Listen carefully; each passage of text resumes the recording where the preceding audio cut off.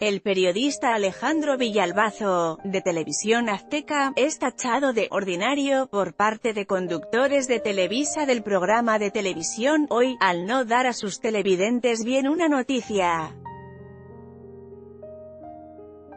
Después de que Alejandro Villalbazo, conductor del noticiario Hechos Meridiano, confundió el video de una película por una noticia verdadera y los usuarios de redes sociales criticaron su credibilidad de periodista.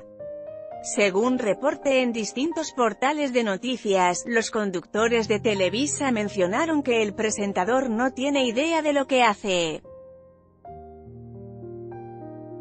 En el programa Cuéntamelo ya, de Televisa, los conductores Paul Stanley y Ricardo Margalef mencionaron el error de Villalbazo por emitir una escena de Captain America, Civil War, como una noticia sobre un camión que se volteó sin causa aparente.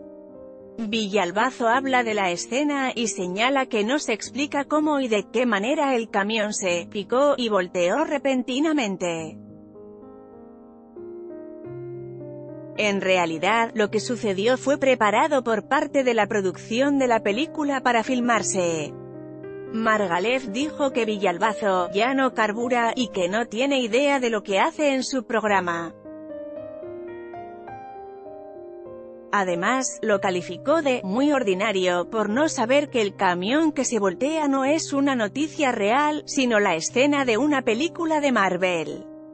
Paul Stanley dijo que Villalbazo era su amigo, y preguntó si vende perfumes o qué hace. Margalef comentó que los niños deben de ver al conductor de Hechos Meridiano como ejemplo para los niños para estudiar, si no estudian van a terminar dando noticias falsas en TV Azteca. Villalbazo, por su parte, el pasado 27 de noviembre se refirió a su error y ofreció disculpas al público. En esta nota,